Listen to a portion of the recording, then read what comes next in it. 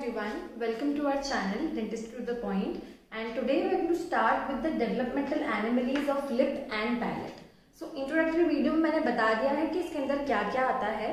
तो उसमें से आज हम चालू करेंगे Van der Woude syndrome okay so Van der Woude syndrome जो है, वो एने वंडरवुड करके एक पर्सन था। उसने डिस्कवर किया था, इसलिए इसका नाम वंडरवुड सिंड्रोम है, ठीक है? और ये हॉलमार्क कॉम्बिनेशन क्या है? मतलब कि एमसीक्यू में क्वेश्चन आ जाता है कि Van der Woude Van der Woude syndrome includes all except तो तब ये चीज़ काम आती है और इन जनरली पता भी होना चाहिए, कभी शॉर्ट नोट भी आ जाए तो या फिल इन द ब्लैंक आ जाए तो या मैच द कॉलम आ जाए तो तो इट्स हॉलमार्क सिंड्रोम मतलब सिंड्रोम है मतलब दो तीन चीज़ों से मिलके बना है। तो क्या क्या इंक्लूड करता है? Lower lip pits with cleft lip and और और क्लेफ्ट पैलेट ठीक है? मतलब कि या तो क्लेफ्ट लिप होगा, या तो क्लेफ्ट पैलेट होगा, या दोनों होगा कुछ भी हो सकता है, ठीक है? तो वंडरवुड सिंड्रोम ये उसका हॉलमार्क है। ये हॉलमार्क लाइन है, ये पता होना चाहिए। एडिशनल फीचर्स भी होते हैं बट ये तो हॉलमार्क है।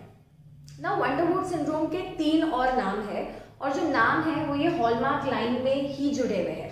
मतलब एक्चुअली आप जो पूरा सब कुछ पढ़ोगे, वो ये तीन हॉलमार्क चीज़ों के बेसिस पे आप सब कुछ, इसके क्लिनिकल फीचर्स इसका ट्रीटमेंट आप सब बता सकते हो।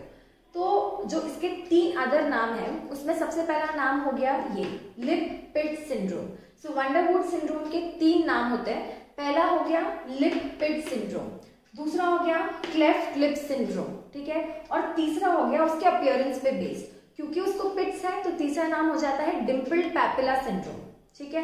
क्योंकि पिट्स है यहाँ पर तो वो डिम्पल या डिप्रेशन अपियरेंस देते हैं तो डिम्पल पैपिला सिंड्रोम तो तीन नाम कौन से कौन से हो जाते हैं? एक हो जाता है लिपिड सिंड्रोम एक हो जाता है क्लेफ लिप सिंड्रोम और एक हो जाता है डिम्पल पैपिला सिंड्रोम इजी अब इसकी कुछ खास इटियोलॉजी नहीं है मतलब कि ऐसा जितनी, क्योंकि वंडरवुड सिंड्रोम अपने आप में ही एक रेयर डिज़ीज़ है like one in one lakh two lakh में देखने को मिलता है. इनफैक्ट जो क्लेफ लिप और क्लेफ पैलेट के भी पेशेंट्स होते हैं तो उनमें भी इसका एसोसिएशन विद लोअर लिपिड्स जिसको आप अंडरवुड बोलते हो वो भी like one to two percent of cases में मतलब इतने केसेस होते हैं क्लेफ लिप और क्लेफ पैलेट तो कॉमन है बट उसका एसोसिएशन इनके साथ one to two percent cases में देखने को मिलता है। So overall Van der Woude syndrome is a very rare kind of disease okay तो इसलिए कोई स्पेसिफिक ईटोलॉजी नहीं है लोअर लिपिड्स की बट हाँ क्योंकि इसमें क्लेफ्ट लिप क्लेफ्ट पैलेट आ रहा है तो हो सकता है कि कोई ओरोफेशियल डिफॉर्मिटी हो, या फिर पैलेटल शेल फ्यूज नहीं हुए हो तो ये ईटोलॉजी आप लिख सकते हो but as such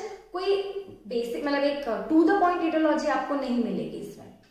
moving to clinical features हमारा वही शॉर्ट फॉर्म जो हम इतने वीडियो से करते हैं that is that sex age and common thing so sex में इक्वल जेंडर प्रेडिलेक्शन कोई मेल फीमेल प्रेडिलेक्शन नहीं है। Male equal to female that is दोनों जेंडर को इक्वली अफेक्ट करता है।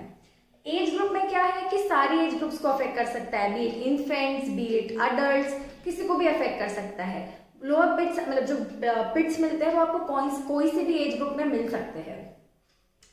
Then you have common thing तो कॉमन ये है कि एक तो लोअर लिप इन्वॉल्व है, ठीक है? लोअर लिप पिट्स ही मिलते हैं। मैंने कभी नहीं बोला अपर पिट्स है। इधर लोअर लिप है, इसलिए कॉमन है कि लोअर लिप पिट्स इन्वॉल्व है। उसमें भी क्योंकि ये एनिमली आपको ऐसे सेंट्रली देखने को मिलेगी तो vermilion border of the lower lip पे आपको ये एनिमली देखने को मिलती है, ठीक है? और एसोसिएशन विथ क्लेफ्ट पैलेट ज़्यादा है। मतलब कि lower lip pits with cleft palate देखने को आपको ज़्यादा मिलेगा, ठीक है? As compare to cleft lip तो कॉमन थिंग इसकी ये है। बाकी और एक्स्ट्रा चीज़ें भी, मैंने बोला ना, ये तो हॉलमार्क है। बट इसके अलावा और एक्स्ट्रा चीज़ें भी आपको देखने को मिल सकती है, जो एसोसिएशन में हो सकती है। जैसे हाइपर नेजल वॉइस ऑब्वियस बात है, क्योंकि क्लेफ्ट लिप है या क्लेफ्ट पैलेट है तो उसकी वजह से नाक से आवाज़ आएगी आएगी। ओके सो क्लेफ्ट लिप और पैलेट हम अलग से डील करेंगे क्योंकि ये अपने आप में बहुत वास्ट टॉपिक है। ये सर्जरी में भी आता है ओपैक्स में भी आता है तो इसको अपन अलग से एक बार डील करेंगे ही। तो अभी आप बस समझ लो, बाकी ये अलग से डील होगा। हाइपर नेजल वॉइस देखने को मिलेगी बाइफिड यूबुला बाइफिड यूबुला क्यों मिलेगा? क्योंकि क्लेफ पैलेट है। क्लेफ पैलेट में आप पढ़ोगे कि अगर क्लेफ पैलेट की सिवियरिटी पर डिपेंड करता है। अगर पैलेट जो है क्लेफ्ट है, वो बहुत ज़्यादा पीछे तक एक्सटेंड करेगा पैलेट में। तो जो यूविला है, वो भी बाइफिट अपियरेंस या दो, ऐसे दो में डिवाइडेड आपको दिख सकती है। मैक्सिलरी हाइपोडोंशिया मैक्सिलरी हाइपोडोंशिया मतलब मैक्सिला में हाइपोडोंशिया मतलब मिसिंग टीथ मतलब एनोडोंशिया मतलब कंप्लीट एब्सेंस हाइपरडोंशिया मतलब एडिशनल टीथ हाइपो मतलब दांत कम. इसलिए लिखा है मिसिंग मैक्सिलरी इंसाइजर्स या प्रीमोलर्स अब हाइपोडोंशिया है तो कौन से दांतों का हो सकता है? कौन से मिसिंग हो सकते हैं? मैक्सिलरी इंसाइजर्स और प्रीमोलर्स रेयर क्लिनिकल फीचर्स में क्या देखने को मिल सकता है? सिग्नेथिया सिग मतलब फ्यूजन नैथिया मतलब jaw fusion of the jaws narrow और high arched palate and ankyloglossia और टंग टाई जिसको हम सेपरेटली डील करेंगे डेवलपमेंटल एनिमलीज ऑफ़ टंग में. So these are all about the clinical features basic पता होगा तो ये भी वहीं से रिलेट करके लिख दोगे. Now you come to extra oral features तो हमेशा ध्यान रखना, भले वो जनरल मेडिसिन हो ओपैथ हो सर्जरी हो, कुछ भी।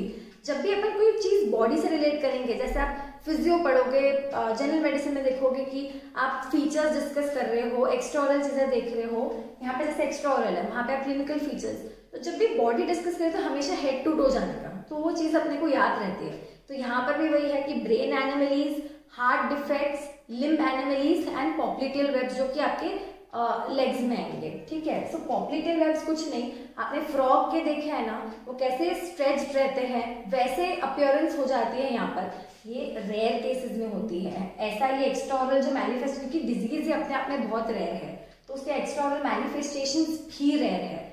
सो so, याद कैसे रखोगे? Brain heart limbs and popliteal webs जो कि पैर में आपको या हाथ के अपियरेंस में भी, क्योंकि वेब्स है तो हाथ में और पैर में दोनों में आपको इमेज से क्लियर हो जाएगा कि क्या अपियरेंस होती है पॉप्लिटियल वेब्स की ओके अब इसका ट्रीटमेंट जो है, क्योंकि इसका कोई स्पेसिफिक ट्रीटमेंट नहीं है, बस क्योंकि आपको मैंने बोला आप ये लाइन याद रखो पिट्स है, ठीक है?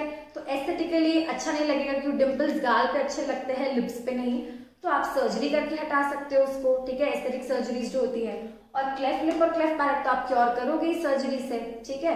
तो वो वैसा। तो there is no specific treatment बस ये दोनों चीज़ों का आप सर्जरी करके उसको मैनिपुलेट कर सकते हो। So this is all about Van der Woude syndrome आगे के सिंड्रोम्स आगे के वीडियोज़ में हम देखते हैं। Okay thank you